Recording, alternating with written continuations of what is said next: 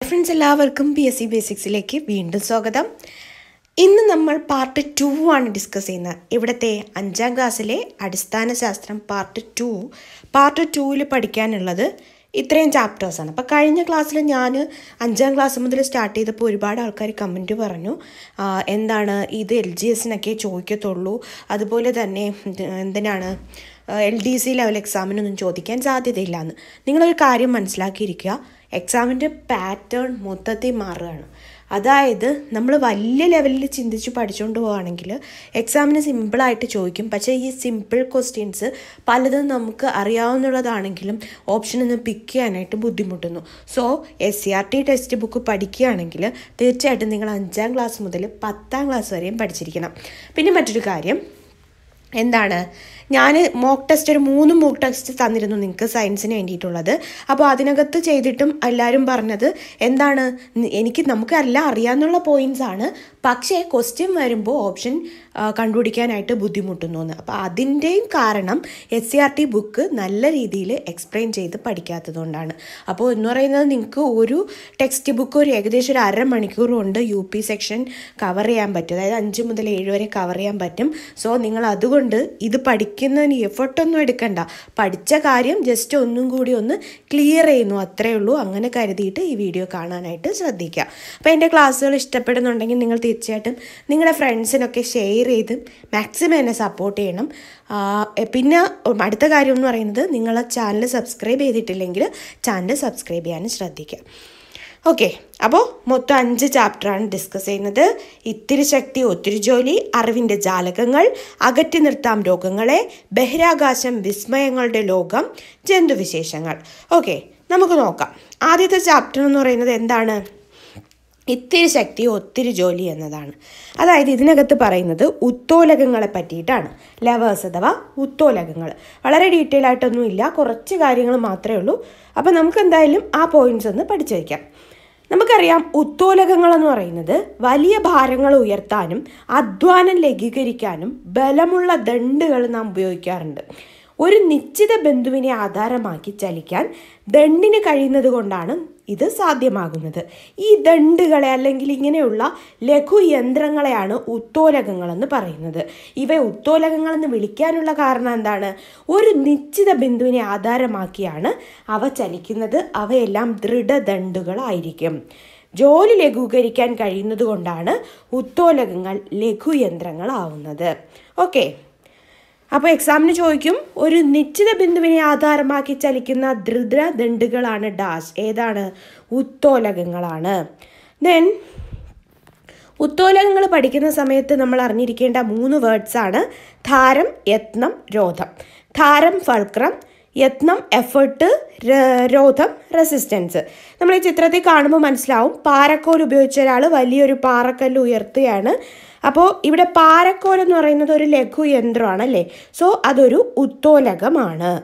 Then Parakkol അതിന്റെ താഴെ ഒരു ചെറിയ കല്ലുണ്ട്. മുകളിലുള്ള വലിയ കല്ലിനെയാണ് ചലിപ്പിക്കേണ്ടത്. സോ ഏതിനെ ആധാരമാക്കിയാണ്? ആ ചെറിയ കല്ലിനെ ആധാരമാക്കിയാണ് വലിയ കല്ല് ചലിപ്പിക്കുന്നത്. ഉത്തോലകം ചലിക്കാൻ ആധാരമാക്കുന്ന ബിന്ദുവിനെ നമുക്ക് ധാരം അല്ലെങ്കിൽ ഫൽക്രം എന്ന് വിളിക്കാം. അപ്പോൾ ഇവിടുത്തെ ധാരം ഏതാണ്? ചെറിയ കല്ലാണ്. ഈ ഒരു എക്സാമ്പിൾ വെച്ചിട്ട് നിങ്ങൾ എന്ത് ചെയ്യുക? ഓർമ്മിച്ച് വയ്ക്കുക ഉത്തോലകം ചലിക്കാൻ ആധാരമാക്കുന്ന ബിന്ദുവിനെയാണ് ധാരം അല്ലെങ്കിൽ ഫൽക്രം എന്ന് വിളിക്കുന്നത്. ദെൻ നാം പ്രയോഗിക്കുന്ന ബലത്തെ അവിടെ നമ്മൾ ഒരു ബലം പ്രയോഗിക്കും ആ ബലത്തിനെ യത്നം അല്ലെങ്കിൽ എഫേർട്ട് എന്ന് വിളിക്കും. ദെൻ യത്നം ഉപയോഗിച്ച് നേരിടുന്ന പ്രതിരോധം ഉണ്ടല്ലോ അതായത് ആ വലിയ പാറക്കല്ല് പൊക്കുക എന്നുള്ള ആ ഒരു പ്രതിരോധം. ഇതിനെ നമ്മൾ രോധം എന്ന് വിളിക്കും ദാറ്റ് ഈസ് റെസിസ്റ്റൻസ് അപ്പോൾ എന്താണ്? എന്താണ് ഫൾക്രം അഥവാ ധാരം ഉത്തോലകത്തെ ചലിപ്പിക്കുന്ന ആധാരമാക്കുന്ന ബിന്ദുവിനെയാണ് എന്ന് പറയുന്നത്. നാം പ്രയോഗിക്കുന്ന ബലത്തിനെ യത്നം എന്ന് പറയും. യത്നം ഉപയോഗിച്ച് നേരിടുന്ന പ്രതിരോധമാണ് രോധം. അപ്പോൾ ഇതൊക്കെ ഉത്തോലകങ്ങൾക്ക് ഉദാഹരണങ്ങളാണ്. ഇതിന്റെ കൂടുതൽ ഡീറ്റെയിൽസ് നമുക്ക് വരും ക്ലാസ്സുകളിൽ ഡിസ്കസ് ചെയ്യാം. ഓക്കെ. ദെൻ ലഘുയന്ത്രങ്ങളിൽ യത്നത്തിന്റെ സ്ഥാനം മാറ്റി. യത്നം എന്ന് പറയുമ്പോൾ എന്താണ് നമ്മൾ അവിടെ കൊടുക്കുന്ന? ആ ഒരു ബലം അല്ലെങ്കിൽ എഫേർട്ടാണ് എന്താ എന്ത് പറയുന്നത്? യത്നം എന്ന് പറയുന്നത്. നാം പ്രയോഗിക്കുന്ന ബലമാണ് യത്നം. ഈ യത്നത്തിന്റെ നമ്മൾ കൊടുക്കുന്ന ബലത്തിന്റെ ആ സ്ഥാനം മാറ്റിയിട്ട് നമുക്ക് പ്രവൃത്തി കൂടുതൽ എളുപ്പമാക്കാനായിട്ട് പറ്റും. ഓക്കെ അപ്പോൾ ധാരം എന്താണെന്ന് ഓർമ്മിക്കുക. ഉത്തോലകം എന്തിനെ ആധാരമാക്കി? ഒരു നിശ്ചിത ബിന്ദുവിനെ ആധാരമാക്കി ചലിക്കുന്നു. സോ ആ നിശ്ചിത ബിന്ദുവിനെയാണ് നമ്മൾ എന്ത് പറയുന്നത്? ധാരം എന്ന് വിളിക്കുന്നത്. ദെൻ അവിടെ നമ്മൾ പ്രയോഗിക്കുന്ന ബലത്തിനെ എഫർട്ട് എന്ന് വിളിക്കും. ദാറ്റ് ഈസ് യത്നം എന്ന് വിളിക്കും. അവിടെ ഉണ്ടാകുന്ന എന്തിനെ? പ്രതിരോധം. നമ്മൾ നേടിയ പ്രതിരോധത്തിനെ രോധം എന്നും വിളിക്കും. ദെൻ ആ ചാപ്റ്റർ കഴിഞ്ഞു. ഇനി അടുത്ത് പറയാൻ പോകുന്നത് ജ്ഞാനേന്ദ്രിയങ്ങളുടെ ഒരു ബേസിക് ഐഡിയ ആണ്. റെറ്റിന എന്ന സ്ക്രീനിലാണ് നമ്മുടെ കണ്ണിന്റെ പ്രതിബിംബം തല കീഴായി പതിയുന്നത്. അപ്പോൾ റെറ്റിനയിൽ പ്രതിബിംബം പതിയുന്നത് എങ്ങനെ? തല കീഴായിട്ടാണ് പതിയുന്നത്. അപ്പോൾ നമ്മൾ തല കീഴായിട്ടുള്ള ദൃശ്യങ്ങളാണോ കാണുന്നത്? അല്ല നേത്രനാടികൾ ഇങ്ങനെ തല കീഴായിട്ട് പതിയുന്ന ആ ഒരു ദൃശ്യത്തിനെ എന്ത് ചെയ്യും? സന്ദേശമായിട്ട് തലച്ചോറിലെത്തിക്കും. തലച്ചോറാണ് വസ്തുവിന്റെ യഥാർത്ഥവും നിവർന്നതുമായിട്ടുള്ള കാഴ്ച സാധ്യമാക്കുന്നത്.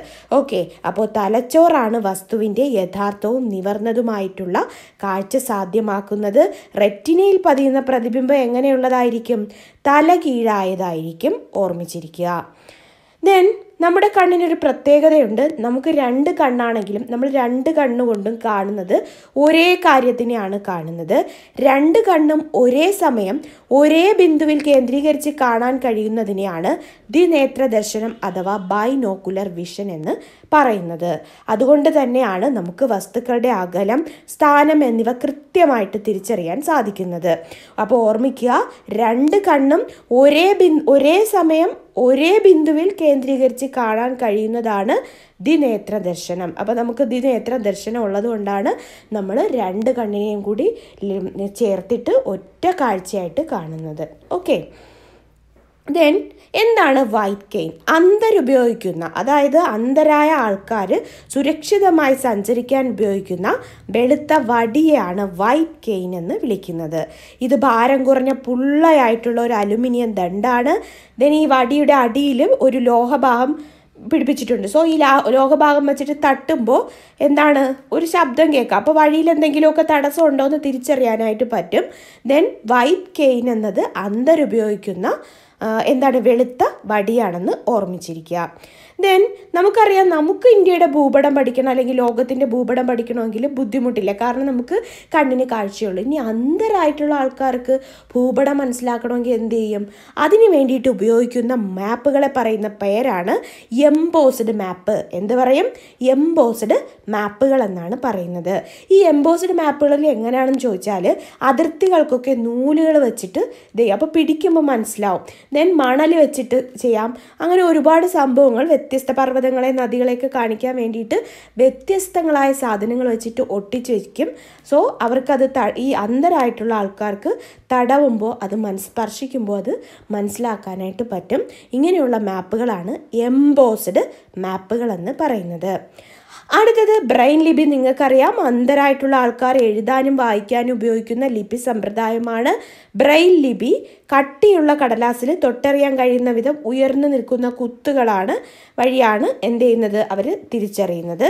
ഇത് ഉണ്ടാക്കിയത് ഫ്രഞ്ചുകാരനായ ലൂയിസ് ബ്രെയിലാണ് ഈ ഒരു രീതി വികസിപ്പിച്ചെടുത്തത്. അതുകൊണ്ട് ബ്രെയിൽ ലിപി എന്നാണിത് അറിയപ്പെടുന്നത്. ഇനി നമ്മുടെ കണ്ണുകളിലും എന്ത് ഒരുപാട് കഴിവുകളുണ്ടല്ലേ? എന്താണ് ബൈ ബൈനോക്കുലർ വിഷനൊക്കെ ഉണ്ട് ദിനേത്ര ദർശനമൊക്കെ ഉണ്ട്. അതുപോലെ തന്നെ പല ജീവികൾക്കും പല പ്രത്യേകതകളുണ്ട്. ഇങ്ങനെ പ്രത്യേകതയുള്ള മൂന്ന് ജീവികളാണ് മരയൊന്ത് മൂങ്ങ പൂച്ച. ഇനി എക്സാമിന് ചോദിക്കുന്ന ഒരു ക്വസ്റ്റ്യൻ ആണ്. ഒരേ സമയം കണ്ണുകളെ രണ്ട് വ്യത്യസ്ത ദിശകളിലേക്ക് ചലിപ്പിച്ച് വ്യത്യസ്ത കാഴ്ചകൾ ഒരേ സമയം കാണാൻ കഴിയുന്ന ജീവി ഏത്? ഏതാണ്? മരയൊന്താണ്. അപ്പോൾ മരയൊന്നിന്റെ പ്രത്യേകത എന്താണ്? ഒരേ സമയം കണ്ണുകളെ രണ്ട് വ്യത്യസ്ത ദിശകളിലേക്ക് ചലിപ്പിച്ചിട്ട് വ്യത്യസ്ത കാഴ്ചകൾ ഒരേ സമയം കാണാനായിട്ട് സാധിക്കുന്നു. ദെൻ മൂങ്ങയ്ക്ക് തലയിലൂടെ നേരെ മുൻഭാഗത്തായിട്ട് വലിയ രണ്ട് കണ്ണുകളാണുള്ളത്.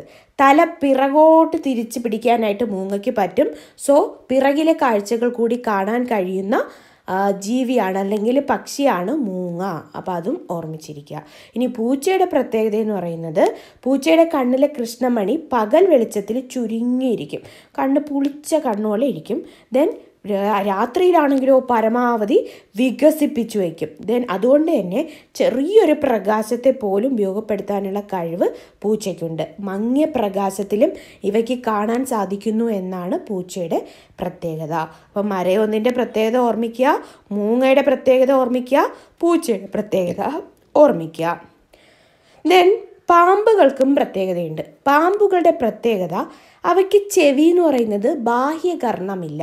ആന്തരകർണം ഉപയോഗിച്ചിട്ടാണ് തറയിലുണ്ടാകുന്ന നേരിയ ചലനങ്ങൾ പോലും തിരിച്ചറിയാനായിട്ട് അവയ്ക്ക് സാധിക്കുന്നത്. അപ്പോൾ ബാഹ്യകർണമില്ലാത്ത ജീവിയാണ് ആ ഒരു ഉദാഹരണം. പാമ്പാണ്. അത് എങ്ങനെയാണ് ആന്തരകർണം ഉപയോഗിച്ചിട്ട് തറയിലുണ്ടാകുന്ന നേരിയ ചലനങ്ങൾ പോലും തിരിച്ചറിയാൻ സാധിക്കും. ദെൻ പാമ്പുകൾക്ക് അതുകൊണ്ട് തന്നെ വായിലൂടെ വരുന്ന വായിലൂടെയല്ല വായുവിലൂടെ വരുന്ന ശബ്ദം കേൾക്കാൻ കഴിയില്ലെങ്കിലും പ്രതലങ്ങളിലൂടെ വരുന്ന ശബ്ദം തിരിച്ചറിയാനായിട്ട് സാധിക്കും. പ്രതലങ്ങൾ എന്ന് പറയുമ്പോൾ എന്താണ്? ഈ പാമ്പിഴയുന്ന സ്ഥലങ്ങളില്ലേ ആ പ്രതലങ്ങളിൽ വരുന്ന സൗണ്ട് തിരിച്ചറിയാനായിട്ട് സാധിക്കും. വായുവിലൂടെ വരുന്ന ശബ്ദം കേൾക്കാൻ കഴിയില്ല. അതുകൊണ്ടാണ് നമ്മുടെ വാവ സുരേഷൊക്കെ പാമ്പ് പിടിക്കുന്ന രീതി ശ്രദ്ധിച്ചാൽ മതി. വായുവിലൂടെ സൗണ്ട് ഉണ്ടാക്കിയിട്ടാണ് പിടിക്കുന്നത്. ഒരിക്കലും പ്രതലം വഴിയല്ല പിടിക്കുന്നത്. പ്രതലം വഴിയുള്ള സൗണ്ട് ആർക്ക് തിരിച്ചറിയാനായിട്ട് പറ്റും? പാമ്പുകൾക്ക് തിരിച്ചറിയാനായിട്ട് കഴിയും. ദെൻ ക്രാണശക്തി. എന്താണ് ക്രാണശക്തി? മണത്തറിയാനുള്ള കഴിവിനെയാണ് നമ്മൾ ക്രാണശക്തി എന്ന് പറയുന്നത്. ലോകത്തിലെ ഏറ്റവും വലിയ ക്രാണശക്തിയുള്ള ജീവി ഏതെന്ന് ചോദിച്ചാൽ സ്രാവുകളാണ്. രണ്ടാം സ്ഥാനം നമ്മുടെ നായക്കാണ്. കരജീവി ഏതെന്ന് വെച്ചാൽ നായയാണ്. ലോകത്തിലെ ഏറ്റവും പ്രാണശക്തി കൂടുതലുള്ളത് നമ്മുടെ സ്രാവിനാണ്. നായകൾ എന്ത് ചെയ്യും? ഇടയ്ക്കിടയ്ക്ക് അവർ യാത്ര ചെയ്യുന്ന വഴിയിലൊക്കെ മൂത്രം ഒഴിക്കും കാരണം അവർക്ക് തിരിച്ചു വരാനുള്ള വഴി മണത്തറിയാൻ വേണ്ടിയിട്ടാണ് ഇങ്ങനെ ചെയ്യുന്നത്. അതുകൊണ്ട് തന്നെ കുറ്റാന്വേഷണ രംഗത്തൊക്കെ നായകൾ എന്ത് ചെയ്യുന്നുണ്ട്? പ്രവർത്തിക്കുന്നുണ്ട്. ഇനി നമ്മുടെ പാമ്പുകൾക്ക് ബാഹ്യകരണം ഇല്ലെന്ന് പറഞ്ഞതുപോലെ തന്നെ പാമ്പുകൾ ഒരിക്കലും എന്ത് ചെയ്യുന്നത് ഗന്ധം അറിയുന്നത് മൂക്ക് ഉപയോഗിച്ചിട്ടല്ല നാക്ക് ഉപയോഗിച്ച് ഉപയോഗിച്ചിട്ടാണ് നാക്ക് ജേക്കബ്സൺസ് ഓർഗൻ അത് നമ്മൾ വലിയ ക്ലാസ്സുകളിൽ പഠിക്കും. ഓക്കെ നാക്ക് ഉപയോഗിച്ചിട്ടാണ് പാമ്പുകൾ ഗന്ധം അറിയുന്നത് ഓർമ്മിച്ചിരിക്കുക. ദെൻ സ്നെല്ലൻ ചാട്ട് നിങ്ങളെല്ലാ ഓൾമോസ്റ്റ് ആൾക്കാരും സ്നെല്ലൻ ചാട്ട് കണ്ടിട്ടുണ്ടായിരിക്കും. കണ്ണ് എന്താണ് സ്കൂളിലൊക്കെ വന്നിട്ട് നമ്മുടെ കാ കാഴ്ചശക്തി നോക്കാറുണ്ട്. അപ്പോൾ ഈ കാഴ്ചശക്തി നോക്കുന്നതിന് വേണ്ടിയിട്ട് ഉപയോഗിക്കുന്നതാണ് സ്നെല്ലൻ ചാർട്ട്. സ്നെല്ലൻ ചാർട്ട് അക്ഷരങ്ങളോ അക്കങ്ങളോ ചിഹ്നങ്ങളോ വ്യത്യസ്ത വലുപ്പത്തിൽ ഏഴ് വരികളായി രേഖപ്പെടുത്തിയിരിക്കുന്നു. അപ്പോൾ സ്നെല്ലൻ ചാർട്ടിൽ എത്ര വരികളുണ്ട്? ഏഴ് വരികൾ ഉണ്ട്. എത്ര വരികൾ നമുക്ക് കറക്റ്റ് വായിക്കാൻ പറ്റുന്നു എന്ന് നോക്കിയിട്ടാണ് നമ്മുടെ കാഴ്ചശക്തി അളക്കുന്നത്. അപ്പോൾ പിന്നെ അതിന് വേണ്ടിയിട്ട് ഉപയോഗിക്കുന്നതാണ് സ്നെല്ലൻ ചാർട്ട്. ഇനി അടുത്ത് പറയാൻ പോകുന്നത് സൂക്ഷ്മജീവികൾ അല്ലെങ്കിൽ മൈക്രോ ഓർഗാനിസം ആണ് ഏതൊക്കെയാണ് micro organisms virus fungus bacteria തുടങ്ങിയ സൂക്ഷ്മജീവികളിൽ ചിലതിന്റെ പ്രവർത്തനമാണ് പല രോഗങ്ങൾക്കും കാരണമാകുന്നത്. ഇവ രോഗമുള്ള ഒരാളിൽ നിന്നും മറ്റൊരിലേക്ക് എത്തുമ്പോഴാണ് രോഗം പകരുന്നത്. പല രീതിയിൽ പകരും. പകരുന്ന രീതി വായുവിലൂടെ പകരാം. വെള്ളം അല്ലെങ്കിൽ ആഹാരം എന്നിവയിലൂടെ പകരാം. ഈച്ച വഴി പകരാം. കൊതുക് വഴി പകരാം. അല്ലെങ്കിൽ നമ്മുടെ കോണ്ടാക്റ്റ് എന്ന് പറയുമ്പോൾ സ്പർശനം വഴി നമുക്ക് എന്ത് ചെയ്യാൻ പറ്റും? അസുഖങ്ങൾ പകരാം. ഇങ്ങനെ വായുവിലൂടെ പകരുന്ന രോഗങ്ങളാണ് ഒന്നാമത്തത് ജലദോഷം. നമ്മൾ തുമ്മുമ്പോൾ എന്ത് ചെയ്യും? മറ്റുള്ളത്തോട്ട് പകരും. അടുത്തത് ചിക്കൻ ബോക്സ് വായുവിലൂടെ പകരുന്നതാണ്. മീസിൽസ് ദെൻ ക്ഷയം എന്നിവ വായുവിലൂടെ പകരുന്ന രോഗങ്ങളാണ്. അപ്പോൾ ജലദോഷം ചിക്കൻ ബോക്സ് മീസിൽസ് ക്ഷയം. ഇതിന് വേണ്ടിയിട്ട് കോഡൊക്കെ നിങ്ങൾ ഉണ്ടാക്കി വെച്ചിട്ടുണ്ടായിരിക്കും. അപ്പോൾ എന്താണ്? കോഡ് വേണം എന്നുണ്ടെങ്കിൽ താഴെ കമന്റ് ചെയ്താൽ മതി നിങ്ങൾക്ക് തരാം. എന്തായാലും അഞ്ചാം ക്ലാസ്സിലെ ടെക്സ്റ്റ് ബുക്കിൽ ഈ നാലെണ്ണമാണ് വായുവിലൂടെ പരക്കുന്ന രോഗങ്ങൾ പറഞ്ഞിട്ടുള്ളത്. ജലദോഷം ചിക്കൻ ബോക്സ് മീസിൽസ് ക്ഷയം. ദെൻ വെള്ളം ആഹാരം എന്നിവയിലൂടെ പരക്കുന്നതാണ് എലിപ്പനി ടൈഫോയിഡ് കോളറ മഞ്ഞപ്പിത്തം. വെള്ളം ആഹാരം എന്നിവയിലൂടെ പകരുന്നത് എലിപ്പനി ടൈഫോയിഡ് കോളറ മഞ്ഞപ്പിത്തം. ഇനി ഈച്ച വഴി ഉണ്ടാകുന്ന അല്ലെങ്കിൽ ഈച്ച വഴി പരക്കുന്ന രോഗമാണ് കോളറയും വയറിളക്കവും. കൊതുക് മുഖേന ഉണ്ടാകുന്നത് മന്ത് മലമ്പനി ഡെങ്കിപ്പനി ചിക്കുങ്കുനിയ. കൊതുക് മുഖേന ഉണ്ടാകുന്ന രോഗങ്ങളാണ് മന്ത് മലമ്പനി ഡെങ്കിപ്പനി ചിക്കുങ്കുനിയ. ദെൻ കോണ്ടാക്റ്റ് മുഖേന ഉണ്ടാകുന്നതാണ് ചെങ്കണ്ണും കുഷ്ഠവും. കുഷ്ഠവും ചെങ്കണ്ണും ഉള്ള ആൾക്കാരുമായിട്ട് അധിക സമ്പർക്കം ഇല്ലാത്തതാണ് നല്ലത്. കാരണം സമ്പർക്കം ഉണ്ടാവുകയാണെങ്കിൽ നമുക്ക് വരാനുള്ള ചാൻസ് കൂടുതലാണ്. സോ ചെങ്കണ്ണും കുഷ്ഠവും ഉണ്ടാക്കുന്നത് സമ്പർക്കം മുഖേനയാണ്. ഇനി എന്താണ് സൂപ്പർ ബഗ്? അതായത് കപ്പലുകളിൽ നിന്നുണ്ടാവുന്ന എണ്ണ ചൂർച്ച മൂലം കടൽ മലിനമാവുന്നത് തടയാനാണ് എണ്ണ ഭക്ഷിക്കുന്ന സൂപ്പർ ബഗ് എന്ന ബാക്ടീരിയകളെ ഉപയോഗപ്പെടുത്തുന്നത്. അപ്പോൾ കപ്പലുകൾ പോകുമ്പോൾ എണ്ണ ചൊറിച്ചുണ്ടാവും. അപ്പോൾ കടൽ മലിനാവും. കടൽ മലിനമായുള്ള പ്രശ്നം എന്താണ്? മത്സ്യസമ്പത്ത് നഷ്ടപ്പെടും. സോ അത് പിന്നെ അതിനു വേണ്ടിയിട്ട് ഉപയോഗിക്കുന്ന ബാക്ടീരിയകളെ സൂപ്പർ ബഗ് എന്നാണ് അറിയപ്പെടുന്നത്. ഈ സൂപ്പർ ബഗിനെ നിർമ്മിച്ചെടുത്ത അല്ലെങ്കിൽ വികസിപ്പിച്ചെടുത്തത് ആനന്ദ് മോഹൻ ചക്രവർത്തി എന്ന ഒരു ശാസ്ത്രജ്ഞൻ ഇന്ത്യൻ വംശജനാണ് ആനന്ദ് മോഹൻ ചക്രവർത്തി അപ്പോൾ എക്സാമിന് ചോദിക്കും കപ്പലുകളിൽ നിന്നുണ്ടാവുന്ന എണ്ണച്ചോർച്ച മൂലം കടൽ മലിനമാവുന്ന തടയാനായി ഉപയോഗിച്ച ബാക്ടീരിയ സൂപ്പർ ബഗ്. ദെൻ ഇത് ആരാണ് നിർമ്മിച്ചത്? ആരാണ്? ആനന്ദ് മോഹൻ ചക്രവർത്തി എന്ന ശാസ്ത്രജ്ഞനാണ് ജനിതക എഞ്ചിനീയറിങ്ങിലൂടെ ഈ ബാക്ടീരിയയെ വികസിപ്പിച്ചെടുത്തത്. ദെൻ ഇനി നമ്മൾ പറയാൻ പോകുന്നത് ബഹിരാകാശത്തെ കുറിച്ചിട്ടാണ് നമുക്കറിയാം ഞാൻ ആദ്യം ചോദിക്കുന്ന ഒരു ക്വസ്റ്റ്യൻ ആണ് ഭൂമിയുടെ ഗോളാകൃതി നേരിൽ കാണാൻ ആദ്യമായ അവസരം ലഭിച്ചത് ആർക്കായിരിക്കും? അത് യൂറി ഗഗാറിനാണ്. കാരണം എന്താണ്? പ്രപഞ്ചയാത്ര ആദ്യമായിട്ട് നടന്ന അല്ലെങ്കിൽ ബഹിരാകാശ യാത്ര നടത്തിയ യൂറി ഗഗാറിനാണ് ഭൂമിയെ നമ്മുടെ ബഹിരാകാശത്ത് നിന്നുകൊണ്ട് നോക്കാനായിട്ട് പറ്റിയത്. സോ ഭൂമിയുടെ ഗോളാകൃതി നേരിൽ കാണാൻ ആദ്യമായിട്ട് അവസരം ലഭിച്ചത് യൂറി ഗഗാറിനാണ്. ദെൻ ഭൂമിക്ക് ചുറ്റും ഒരു ബഹിരാകാശമുണ്ട്. ഭൂമി ബഹിരാകാശത്തിലെ അനേകം കോടി ഗോളങ്ങളിൽ ഒന്ന് മാത്രമാണ്. ബഹിരാകാശത്ത് ഭൂമിയുടെ ഏറ്റവും അടുത്തുള്ള ആകാശഗോളം ഏതെന്ന് ചോദിക്കുകയാണെങ്കിൽ അത് ചന്ദ്രനാണ്. ഭൂമിയുടെ ഏറ്റവും അടുത്തുള്ള ആകാശഗോളം ഏതാണ്? ചന്ദ്രനാണ്. ദെൻ മനുഷ്യന്റെ ആദ്യ ബഹിരാകാശ യാത്ര. മനുഷ്യ ആദ്യമായിട്ട് ബഹിരാകാശത്തെത്തിയ സഞ്ചാരിയാണ് യൂറി ഗഗാറിൻ യൂറി ഗഗാറിനെ ഇതിനകത്ത് എത്തിച്ച ബഹിരാകാശ പേടകമാണ് വോസ്റ്റോക്ക് വൺ എന്നത്. സോവിയറ്റ് യൂണിയന്റെ വോസ്റ്റോക്ക് വൺ എന്ന ബഹിരാകാശ പേടകത്തിലാണ് യൂറി ഗഗാറിൻ പോയത്. അപ്പോൾ യൂറി ഗഗാറിൻ ഏത് രാജ്യക്കാരനാണ്? സോവിയറ്റ് യൂണിയൻ ആണ് ദെൻ വോസ്റ്റോക്ക് എന്ന ബഹിരാകാശ പേടകത്തിലാണ് പോയത്. പോയ വർഷം വളരെ പ്രധാനപ്പെട്ടതാണ്. ആയിരത്തി തൊള്ളായിരത്തി അറുപത്തി ഒന്ന് ഏപ്രിൽ പന്ത്രണ്ടിനാണ് ആദ്യമായിട്ട് ബഹിരാകാശത്തെത്തിയത് യൂറി ഗഗാറിൻ.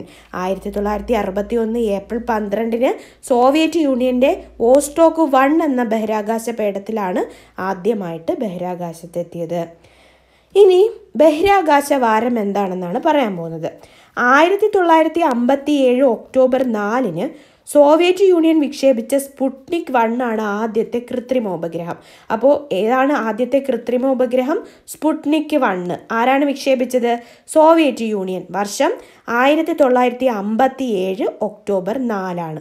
ഇതിന്റെ വിക്ഷേപണത്തോടു കൂടിയാണ് ബഹിരാകാശ യുഗം ആരംഭിക്കുന്നത്. ആയിരത്തി തൊള്ളായിരത്തി അമ്പത്തി ഏഴ് ഒക്ടോബർ നാലിന് സോവിയറ്റ് യൂണിയനാണ് സ്പുട്നിക് വൺ എന്ന ആദ്യത്തെ കൃത്രിമ ഉപഗ്രഹം വിക്ഷേപിച്ചത്. ഇതോടുകൂടി ബഹിരാകാശ യുഗം ആരംഭിച്ചു. ദെൻ അന്താരാഷ്ട്ര തലത്തിൽ ഒക്ടോബർ നാല് മുതൽ പത്ത് വരെ ബഹിരാകാശ വാരമായിട്ടാണ് ആചരിക്കുന്നത്. ഏത് ഓർമ്മയ്ക്ക് വേണ്ടിയിട്ട്? ബഹിരാകാശ യുഗം ആരംഭിച്ച ഓർമ്മയ്ക്ക് വേണ്ടിയിട്ട്. ആയിരത്തി തൊള്ളായിരത്തി അമ്പത്തേഴ് ഒക്ടോബർ നാലിനായിരുന്നു സംഭവം. അതുകൊണ്ട് എല്ലാ വർഷവും ഒക്ടോബർ നാല് മുതൽ പത്ത് വരെ ബഹിരാകാശ വാരമായിട്ടാണ് ആചരിക്കുന്നത്. ദെൻ ആയിരത്തി തൊള്ളായിരത്തി അമ്പത്തേഴ് ഒക്ടോബർ നാലിനും നടന്ന സ്പുട്നിക് ഓൺ വിക്ഷേപണത്തിന്റെയും ആയിരത്തി തൊള്ളായിരത്തി അമ്പത്തി ഒമ്പത് ഒക്ടോബർ പത്തിന് നടന്ന അന്താരാഷ്ട്ര ബഹിരാകാശ സമാധാന ഉടമ്പടിയുടെ ഓർമ്മയ്ക്കായിട്ടാണ് ഈ വരാചാരണം നടക്കുന്നത്. അപ്പോൾ അന്താരാഷ്ട്ര ബഹിരാകാശ സമാധാന ഉടമ്പടി നടത്തിയ വർഷം എന്നാണ് ആയിരത്തി തൊള്ളായിരത്തി അമ്പത്തി ഒമ്പത് ഒക്ടോബർ നാലിനാണ്. ഒക്ടോബർ പത്തിനാണ്. ഇന്ത്യയുടെ ബഹിരാകാശ ഏജൻസി ഏതാണ്? ഐ എസ് ആർ ആണ്. ഈ ഐ എസ് ആർ ഈ ഒക്ടോബർ നാല് മുതൽ ഒക്ടോബർ പത്ത് വരെ ഒരുപാട് പ്രോഗ്രാംസ് അറേഞ്ച് ചെയ്യാറുണ്ട്. ഓർമ്മിച്ചിരിക്കുക. ദെൻ ഇന്ത്യയിലെ ആദ്യത്തെ കൃത്രിമ ഉപഗ്രഹം ആയിരത്തി തൊള്ളായിരത്തി എഴുപത്തി അഞ്ചിൽ വിക്ഷേപിച്ച ആര്യഭട്ട. അമേരിക്കയുടെ ആദ്യ ഉപഗ്രഹ വിക്ഷേപണം നടന്നത് ആയിരത്തി തൊള്ളായിരത്തി അമ്പത്തി എട്ടിലാണ് ആദ്യമായി ബഹിരാകാശത്തെത്തിയ ജീവി എന്ന് പറയുന്ന ഒരു നായയാണ്. ആയിരത്തി തൊള്ളായിരത്തി അമ്പത്തി ഏഴിൽ സോവിയറ്റ് യൂണിയനാണ് ലൈക്ക എന്ന നായയെ ബഹിരാകാശത്ത് എത്തിച്ചത്. ഓർമ്മിച്ചിരിക്കുക. അപ്പോൾ ആദ്യമായിട്ട് ആയിരത്തി തൊള്ളായിരത്തി അമ്പത്തി ഏഴിൽ ഉപഗ്രഹ വിക്ഷേപണം നടത്തിയത് സോവിയറ്റ് യൂണിയനാണ്. അത് കഴിഞ്ഞ് അമ്പത്തി എട്ടിലാണ് ഇൻ അമേരിക്കയുടെ ആദ്യത്തെ ഉപഗ്രഹ വിക്ഷേപണം അത് കഴിഞ്ഞ് ആയിരത്തി തൊള്ളായിരത്തി എഴുപത്തി അഞ്ചിലാണ് ഇന്ത്യയുടെ ആദ്യത്തെ കൃത്രിമ ഉപഗ്രഹം വിക്ഷേപിച്ചത്. ലൈക്ക എന്ന നായയാണ് ആദ്യമായിട്ട് ബഹിരാകാശത്തെത്തിയ ജീവി എത്തിച്ചത് സോവിയറ്റ് യൂണിയൻ ആയിരത്തി തൊള്ളായിരത്തി അമ്പത്തി ഏഴിലാണ് എത്തിയത്. ദെൻ വിക്ഷേപണ വാഹനങ്ങൾ അഥവാ ലോഞ്ചിങ് വെഹിക്കിൾ. എന്താണ് വിക്ഷേപണ വാഹനങ്ങൾ? ബഹിരാകാശ പഠനത്തിനായിട്ട് നമ്മൾ കൃത്രിമ ഉപഗ്രഹങ്ങളെയും മനുഷ്യനെയൊക്കെ ബഹിരാകാശത്ത് എത്തിക്കും. പക്ഷേ ഈ ആവശ്യങ്ങൾക്കായി ഉപയോഗിക്കുന്ന വിക്ഷേപണ വാഹനങ്ങളാണ് റോക്കറ്റുകൾ എന്നറിയപ്പെടുന്നത്. നമുക്കറിയാം എന്താണ്? ചെറിയ റോക്കറ്റുകളാണ് നിങ്ങൾ കണ്ടിട്ടുണ്ടായിരിക്കും ഇല്ലേ? റോക്കറ്റുകൾ മനുഷ്യൻ ഇന്നേ വരെ നിർമ്മിച്ച റോക്കറ്റുകളിൽ ഏറ്റവും വലുതാണ് സാറ്റേൺ ഫൈവ്. അമേരിക്കയുടേതാണ് ഇത്. മനുഷ്യൻ ഇന്നേ വരെ നിർമ്മിച്ച റോക്കറ്റുകളിൽ ഏറ്റവും വലുത് സാറ്റേൺ ഫൈവ് ആണ് അമേരിക്കയുടേതാണ്. ഇന്ത്യൻ ബഹിരാകാശ സഞ്ചാരികൾ. ബഹിരാകാശ യാത്ര നടത്തിയ ആദ്യത്തെ ഇന്ത്യക്കാരൻ ആരാണ്? രാകേഷ് ശർമ്മയാണ്. അത് കഴിഞ്ഞ് കൽപ്പന ചൗള സുനിത വില്യംസ് ഒക്കെ പോയി. ദെൻ രണ്ടാമത്തെ ബഹിരാകാശ യാത്രക്കിടെ കൊളംബിയ സ്പേസ് ഷട്ടിലുണ്ടായ അപകടത്തിൽപ്പെട്ട് മരിച്ചത് ആരാണ് കൽപ്പന ചൗളയാണ്. കൊളംബിയ സ്പേസ് ഷട്ടിലിനുണ്ടായ അപകടത്തിൽപ്പെട്ടാണ് മരിച്ചത്. സുനിത വില്യംസിന് രണ്ട് ലോക റെക്കോർഡുകളാണുള്ളത്.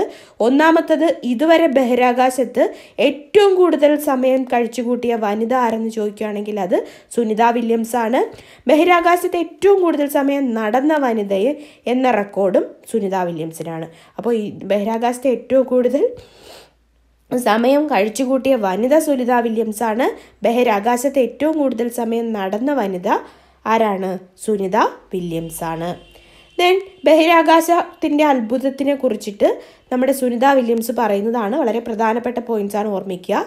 ബഹിരാകാശ നിലയത്തിന്റെ ജാലകം വഴിയുള്ള ഭൂമിയുടെ കാഴ്ച അതിമനോഹരമാണ്. ദെൻ ഭൂമിയിലെ രാത്രിയും പകലും ഒരേ സമയം അവർക്ക് അവർക്ക് എന്ത് ചെയ്യാൻ കാണാൻ കഴിയും? ഭൂമിയിൽ രാത്രി നടക്കുന്നതും പകൽ നടക്കുന്നതും ഒക്കെ ബഹിരാകാശത്തിൽ നിന്ന് കാണാൻ പറ്റും. ദെൻ ഭൂമിയെ ചുറ്റിക്കൊണ്ടിരിക്കുന്ന ബഹിരാകാശ നിലയത്തിൽ വസ്തുക്കൾക്ക് ഭാരം അനുഭവപ്പെടുന്നില്ല. ബഹിരാകാശ നിലയത്തിൽ വസ്തുക്കൾക്കൊന്നും ഒരു ഭാരവും ഇല്ല. ഒരു ഉറുമ്പ് വന്നാലും പിന്നെന്താണ്? ഞാനും ആരാണ്? നം ആ സുനിത വില്യംസിന്റെ വെയിറ്റും എന്താ പറയുക എന്താണ് സെയിം ആണ്. കാരണം ഭൂമിയുടെ ഗുരുത്വാകർഷണ ബലം ഉണ്ടെങ്കിൽ മാത്രമല്ലേ ഭാരം തോന്നിക്കത്തുള്ളൂ. അപ്പം ഗുരുത്വാകർഷണ ബലത്തിൽ നിന്നും വിട്ട് നിൽക്കുകയാണ്. അപ്പം വിട്ട് നിൽക്കുമ്പോൾ എന്ത് ചെയ്യും? ഭാരം തോന്നത്തില്ല. സോ ബഹിരാകാശത്തിൽ എന്ത് ചെയ്യത്തില്ല? ഭാരം അനുഭവപ്പെടുത്തില്ല. ഭാരമില്ലാത്തത് കൊണ്ട് തന്നെ അവിടെ നടക്കാൻ കഴിയില്ല. ഇവിടുത്തെ നടത്തം ഒരുതരം ഒഴുകിയാണ് നടക്കുന്നത്. എവിടെ? ബഹിരാകാശത്ത്. ശ്വസിക്കാൻ വേണ്ട വായു പോലും ഭൂമിയിൽ നിന്നാണ് കൊണ്ടുവര പോയത്. ദെൻ കുടി ഇവിടെ വെള്ളം കുടിക്കുന്നതും ഭക്ഷണം കഴിക്കുന്നതും ഒക്കെ വ്യത്യസ്തമായിട്ടുള്ള രീതിയാണ്. വെള്ളമൊഴിച്ച് കുളിക്കാൻ പറ്റില്ല. സ്പോഞ്ച് ഉപയോഗിച്ച് നനച്ച് തുടക്കുകയാണ് ചെയ്യുന്നത്. മെത്തേ കിടന്ന് സുഖമായി ഉറങ്ങാൻ പോലും കഴിയില്ല. ഒഴുകി നടക്കാതിരിക്കാൻ വേണ്ടി ഉറപ്പിച്ച കട്ടിലിനോട് ശരീരം ബെൽറ്റ് ഇട്ട് കെട്ടുകയാണ് ചെയ്യുന്നത്. വായു ഇല്ലാത്തതിനാൽ ഇവിടെ ആകാശം കറുത്ത് ഇരുണ്ടതായിട്ടാണ് കാണപ്പെടുന്നത്. ഇവിടെ നിന്ന് പകൽ പോലെ നക്ഷത്രങ്ങളെ കാണാൻ കഴിയും. പകലും നക്ഷത്രം കാണാൻ കഴിയും. കാരണം എന്താണ്? വായു ഇല്ലാത്തതുകൊണ്ട് ആകാശം എപ്പോഴും കറുത്ത് ഇരുണ്ടാണ് ബഹിരാകാശത്ത് കാണപ്പെടുന്നത്. ബഹിരാകാശം അത്ഭുതങ്ങളുടെ ലോകമാണ് ഇല്ലേ? അപ്പോൾ അതിന്റെ കാര്യം ഇത് ഇത്രയും സുനിത വില്യംസിനുണ്ടായ അനുഭവമാണ്. ഇനിയുള്ളത് മനുഷ്യൻ ചന്ദ്രനിലാണ്. മനുഷ്യൻ ഇന്നേ വരെ കാലുകുത്തിയ ഏക അന്യഗോളം ചോദിക്കുകയാണെങ്കിൽ അത് ചന്ദ്രനാണ്. അമേരിക്കക്കാരായ Neil Armstrong Edwin Buzz Aldrin എന്നിവരാണ്. ആയിരത്തി തൊള്ളായിരത്തി അറുപത്തി ആരാണ്? ആയിരത്തി തൊള്ളായിരത്തി അറുപത്തി ഒമ്പത് ജൂലൈ ഇരുപത്തി ഒന്നിന് ആദ്യമായിട്ട് ചന്ദ്രനിൽ ഇറങ്ങിയത്. ആയിരത്തി തൊള്ളായിരത്തി അറുപത്തി ഒമ്പത് ജൂലൈ ഇരുപത്തി ഒന്നിനാണ് ആദ്യമായിട്ട് നീൽ ആംസ്ട്രോങ്. നീൽ ആംസ്ട്രോങ് ആണ് ഫസ്റ്റ് കാലെടുത്ത് വെച്ചത്. പിന്നെ മൈക്കിൾ കോളിൻസും എഡ്വിൻ ബെസ് ആൾഡ്രിനും കൂടെ ഉണ്ടായിരുന്നു. ദെൻ അമേരിക്കൻ ബഹിരാകാശ ഏജൻസിയായ നാസയുടെ അപ്പോളോ ടു എന്ന ബഹിരാകാശ വാഹനമാണ് ഇതിനായിട്ട് ഉപയോഗിച്ചത്. ഓക്കെ ദെൻ മൈക്കിൾ കോളിൻസ് എന്ന സഞ്ചാരിയും വാഹനത്തെ നിയന്ത്രിച്ചുകൊണ്ട് ഈ യാത്രയിൽ കൂടെയുണ്ടായിരുന്നു.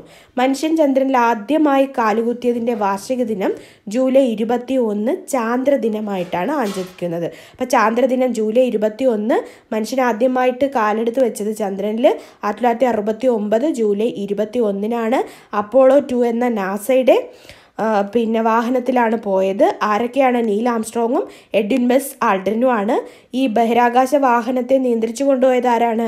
മൈക്കിൾ കോളിൻസ് ആണ് ആദ്യ ചന്ദ്രയ്ക്ക് ശേഷം വീണ്ടും അഞ്ച് തവണ മനുഷ്യൻ ചന്ദ്രൻ പോയിട്ട് തിരിച്ചു വന്നിട്ടുണ്ട്. ഓക്കെ ദെൻ ബഹിരാകാശ രംഗത്ത് ഇന്ത്യയുടെ കേസാണ് പറയാൻ പോകുന്നത്. ഇന്ത്യയും ബഹിരാകാശ ഗവേഷണ രംഗത്ത് അതിവേഗം മുന്നേറിക്കൊണ്ടിരിക്കുകയാണ്. നമ്മുടെ ബഹിരാകാശ ഗവേഷണ കേന്ദ്രം ഏജൻസി ഏതാണ്? ഐ എസ് ആർ ആണ് നമ്മുടെ ബഹിരാകാശ പദ്ധതികൾക്ക് തുടക്കമിട്ട വിക്രം സാരാഭായി ഇന്ത്യൻ ബഹിരാകാശ പദ്ധതിയുടെ പിതാവെന്നാണ് അറിയപ്പെടുന്നത്. അപ്പോൾ ഇന്ത്യൻ ബഹിരാകാശ പദ്ധതിയുടെ പിതാവ് ആരാണ് വിക്രം സാരാഭായി ആണ് ഇനി ഐ എസ് ആർ ഇന്ത്യ ഈ വിവിധ രാജ്യങ്ങളുടെ ബഹിരാകാശ ഏജൻസികൾ അറിഞ്ഞിരിക്കണം. ഇന്ത്യയുടേത് നമുക്കറിയാം എന്താണ് ഐ എസ് ആർ ആണ് യു എസ് എയുടേത് നാസ യൂറോപ്പിന്റെത് E S A then ജപ്പാന്റെത് JAXA J A X A JAXA Russia R S A China C N S A. അപ്പോൾ ഓർമ്മിച്ചിരിക്കുക എക്സാമിന് ഒരുപക്ഷെ ചോദിച്ചേക്കാം. ഇന്ത്യയുടെ നമുക്കറിയാം ഐ എസ് ആർ ഒ ആണ് അമേരിക്കയുടെയും നമുക്കറിയാം യു എസ് എ ആണ് സോറി നാസയാണ് then യൂറോപ്പിന്റെത് E S A then Japan JAXA Russia R S A then China C N S A ആണ്.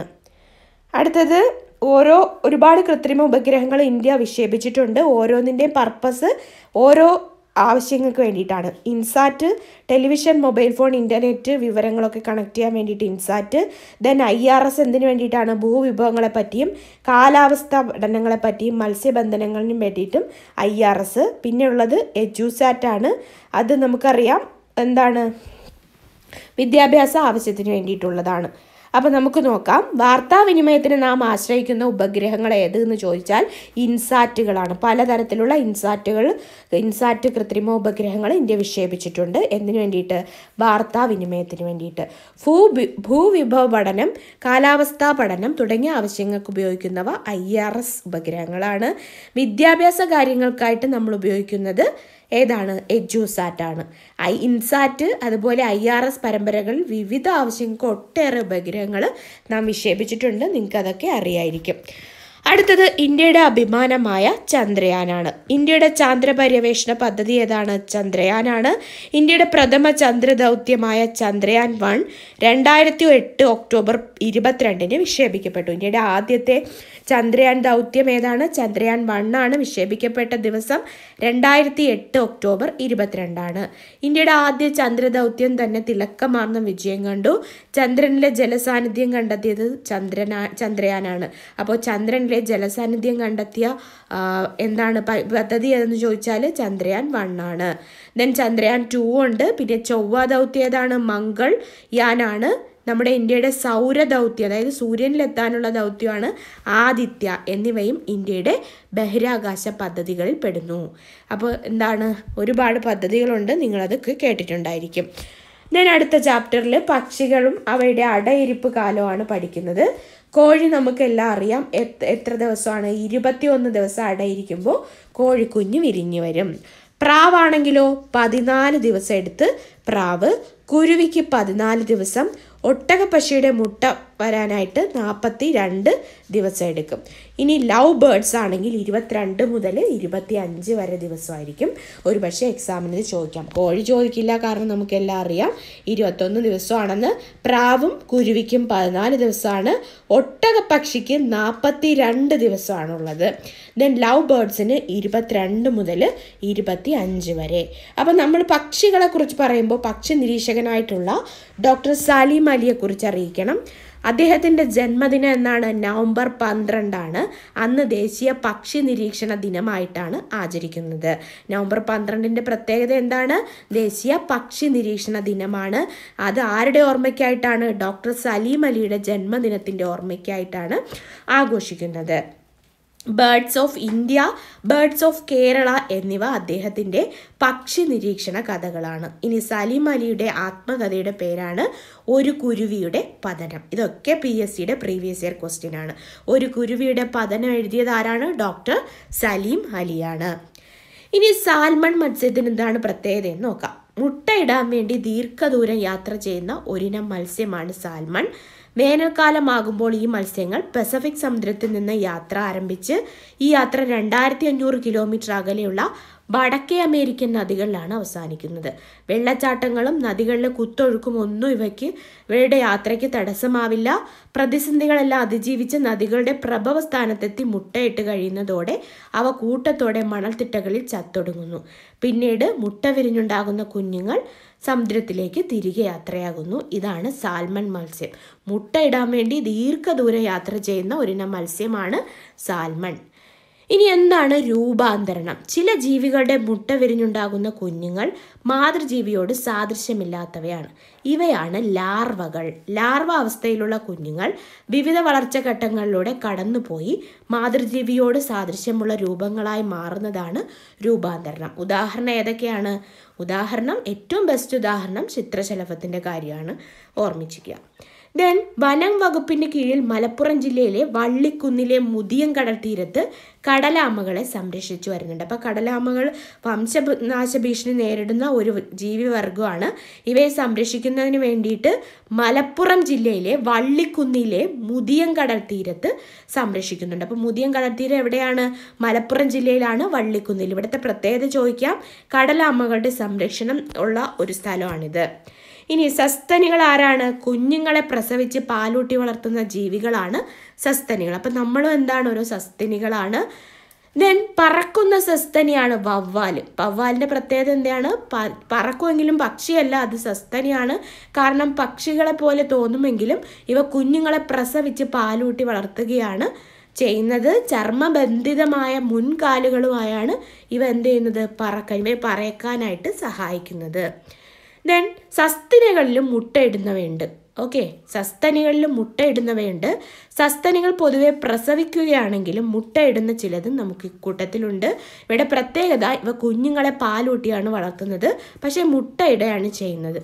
ഇതിന് ഉദാഹരണം പ്ലാറ്റിപ്പസും എക്കിഡ്നയും ആണ്. അപ്പോൾ മുട്ടയിടുന്ന രണ്ട് സസ്തനികൾക്ക് ഉദാഹരണം പ്ലാറ്റിപ്പസും എക്കിഡ്നയും ആണ്. ദെൻ ശരീരം മുറിഞ്ഞാലും പുതിയ ജീവി. മണ്ണിരയുടെയും പ്ലനേറിയുടെയും ശരീരഭാഗങ്ങൾ മുറിഞ്ഞാൽ ആ ഭാഗം വളർന്ന് പുതിയ ജീവിയായിട്ട് മാറും. ഒരുതരം പരന്ന വിരയാണ് പ്ലനേറിയ. അപ്പോൾ മണ്ണിരയുടെയും പ്ലനേറിയുടെയും പ്രത്യേകത എന്താണ്? ശരീരഭാഗങ്ങൾ മുറിയാണെങ്കിൽ ആ ഭാഗം വളർന്നിട്ട് പുതിയ ജീവിയായിട്ട് മാറും. ഇനി പ്രസവിക്കുന്ന അച്ഛൻ. സാധാരണ അമ്മമാരാണ് പ്രസവിക്കുന്നത്. ഇനി ഒരു പ്രസവിക്കുന്ന അച്ഛനുണ്ട്. മത്സ്യത്തിന്റെ വർഗത്തിൽപ്പെട്ട ഏഴ് ഇഞ്ച് മാത്രം വലിപ്പമുള്ള ജീവികളാണ് കടൽ കുതിരകൾ പെൺ കടൽ കുതിരകൾ ഇടുന്ന മുട്ടകൾ ആൺ കടൽ കുതിരയുടെ ഉദരഭാഗത്തെ സഞ്ചിയിൽ സൂക്ഷിക്കുന്നു. നാൽപ്പത് ദിവസത്തിന് ശേഷം ഈ മുട്ടകൾ വിരിഞ്ഞ് കുഞ്ഞുങ്ങൾ സഞ്ചിയിൽ നിന്ന് പുറത്തു വരുന്നു. ആൺ കടൽ കുതിര പ്രസവിക്കുന്നത് പോലെ തോന്നുന്നത് ഇതുകൊണ്ടാണ്. അപ്പോൾ പെൺ കടൽ കുതിര തന്നെയാണ് മുട്ട ഇടുന്നത്. പക്ഷേ ആൺ കടൽ കുതിരയുടെ ഉദരഭാഗത്താണ് സഞ്ചിയിലാണ് ഇതിനെ സൂക്ഷിക്കുന്നത്. അപ്പം നാൽപ്പത് ദിവസം കഴിയുമ്പോൾ ഈ മുട്ട വിരിഞ്ഞ് എന്ത് ചെയ്യും? കുഞ്ഞുങ്ങൾ സഞ്ചിയിൽ നിന്ന് വരും. അതുകൊണ്ടാണ് ആൺ കടൽ കുതിര പ്രസവിക്കുന്നത് പോലെ നമുക്ക് തോന്നുന്നത്. ഓക്കെ പ്രസവിക്കുന്ന അച്ഛൻ എന്നറിയപ്പെടുന്നത് കടൽ കുതിരയാണ് അടുത്തത് സഞ്ചി മൃഗം സഞ്ചി മൃഗം എന്നറിയപ്പെടുന്ന കങ്കാരു ഓസ്ട്രേലിയയിലാണ് കാണപ്പെടുന്നത്. പ്രസവിച്ച ഉടനെ കുഞ്ഞുങ്ങളെ സ്വന്തം ശരീരത്തിലുള്ള ഒരു സഞ്ചിയിലാക്കിയാണ് ഇവ പരിപാലിക്കുന്നത്. അപ്പോൾ സഞ്ചി മൃഗം എന്നറിയപ്പെടുന്നത് കങ്കാരു ആണ്. അടുത്തത് പ്രസവിക്കുന്ന പാമ്പ്. പാമ്പുകൾപ്പെട്ട അണലിയുടെ മുട്ടകൾ വിരിയുന്നത് ശരീരത്തിനുള്ളിൽ വെച്ച് തന്നെയാണ്. അവയുടെ കുഞ്ഞുങ്ങൾ പുറത്തു വരുമ്പോൾ അണലിപ്പാമ്പ് പ്രസവിക്കുന്നതായി തോന്നുന്നു. കുഞ്ഞുങ്ങൾ പുറത്തു വന്ന ശേഷം അണലി അവയെ ഒട്ടും പരിപാലിക്കുകയുമില്ല. കാരണം എന്താണ്? മുട്ട ഒതുക്കി പിടിക്കത്തില്ല മുട്ട ശരീരത്തിനുള്ളിലിരുന്നാണ് വിരിയുന്നത്. സോ എന്ത് ചെയ്യും? അത് നമ്മൾ വിചാരിക്കുന്നു അണലി പ്രസവിച്ചെന്ന്. പക്ഷേ അണലിയുടെ മുട്ട അണലിയുടെ ശരീരത്തിനുള്ളിലാണ് വളരുന്നത്. അപ്പോൾ പ്രസവിക്കുന്ന പാമ്പ് എന്നറിയപ്പെടുന്നത് അണലിയാണ്. അടുത്തത് പവിഴപ്പുറ്റുകൾ. കടലിലെ മഴക്കാടുകളെന്ന് വിശേഷിപ്പിക്കാവുന്ന പവിഴപ്പുറ്റുകൾ. കടലിനടിയിൽ പൂന്തോട്ടങ്ങളെപ്പോലെ കാണുന്ന ജീവിവർഗമാണ്. വിവിധ ഇനം കടൽ ജീവികളുടെ വാസ കേന്ദ്രം കൂടിയാണിവ. കടൽക്ഷോഭം ഒരു പരിധിവരെ തടയാനും പല അസുഖങ്ങൾക്കുമുള്ള മരുന്നുകൾക്ക് നിർമ്മിക്കാനും പവിഴപ്പറ്റുകൾ ഉപയോഗിക്കുന്നു. ഇപ്പോൾ വംശനാശ ഭീഷണി നേരിടുന്ന സംഭവമാണിത്. ഈ ഇതിനെ ഇവയെ സംരക്ഷിക്കേണ്ടതിന്റെ പ്രാധാന്യം ബോധപ്പെടുത്തുന്നതിനായി പവിഴപ്പുറ്റു വർഷമായിട്ട് ആചരിച്ചു. ഏതൊക്കെ വർഷങ്ങളാണ് പവിഴപ്പുറ്റു വർഷമായിട്ട് ആചരിച്ചത്? ആയിരത്തി തൊള്ളായിരത്തി തൊണ്ണൂറ്റി ഏഴും രണ്ടായിരത്തി എട്ടുമാണ് പവിഴപ്പുറ്റു വർഷമായിട്ട് ആചരിച്ചത്. ലോകത്തിലെ ഏറ്റവും വലിയ പവിഴപ്പുറ്റുകൾ കാണപ്പെടുന്നത് ഓസ്ട്രേലിയയിലെ ഗ്രേറ്റ് ബാരിയർ റീഫിലാണ്. അപ്പോൾ ഇത് എക്സാമിന് ചോദിച്ചിട്ടൊരു ക്വസ്റ്റ്യൻ ആണ്. ഏറ്റവും വലിയ പവിഴപ്പുറ്റുകൾ കാണപ്പെടുന്നത് എവിടെ? ഓസ്ട്രേലിയയിലെ ഗ്രേറ്റ് ബാരിയർ റീഫിലാണ് കാണപ്പെടുന്നത്. ലക്ഷദ്വീപുകളിലും പവിഴപ്പുറ്റുകൾ ധാരാളമായിട്ട് കാണപ്പെടാറുണ്ട്. അപ്പോൾ ഇത്രയാണ് അഞ്ചാം ക്ലാസ്സിലെ പുസ്തകത്തിലുള്ളത്. അപ്പോൾ എന്താണ്? വളരെ ഇൻഫോർമേറ്റീവ് ആയിട്ടുള്ളതാണ്. നെക്സ്റ്റ് ക്ലാസ്സിൽ നമ്മൾ അഞ്ചാം ക്ലാസ്സിലെ അടിസ്ഥാന ഏതാണ്? സോഷ്യൽ സയൻസ് അല്ലേ? സോഷ്യൽ സയൻസ് നമ്മൾ ഡിസ്കസ് ചെയ്യും സാമൂഹിക ശാസ്ത്രമായിരിക്കും ഡിസ്കസ് ചെയ്യുന്നത്. അപ്പോൾ എന്റെ ക്ലാസ്സുകൾ ഇഷ്ടപ്പെടുന്നുണ്ടെങ്കിൽ തീർച്ചയായിട്ടും നിങ്ങൾ ചാനൽ സബ്സ്ക്രൈബ് ചെയ്യണം. നിങ്ങളുടെ ഫ്രണ്ട്സിനൊക്കെ മാക്സിമം ഷെയർ ചെയ്യാനായിട്ട് ശ്രദ്ധിക്കുക. അപ്പോൾ എല്ലാവർക്കും all the best and thank